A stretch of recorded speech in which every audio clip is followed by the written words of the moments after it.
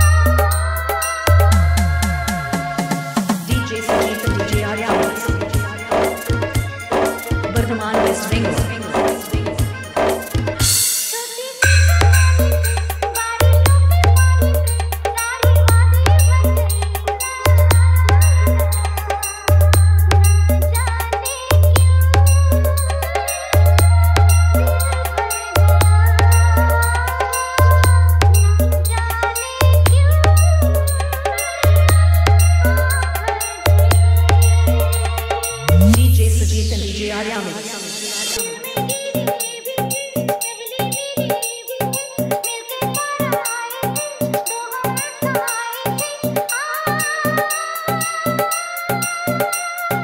Varthaman West Bengal.